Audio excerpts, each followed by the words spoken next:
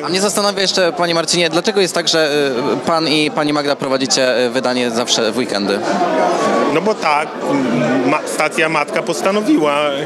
Nie, e, wiem z czego to pewnie wynika. Z tego, że oryginalnie to my byliśmy w dwóch pierwszych duetach e, w Dzień Dobry TVN, czyli to tam było 100 lat temu, w 2005 roku.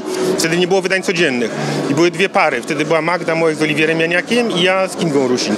Więc jakby siłą rzeczy yy, yy, Magda została przy weekendach.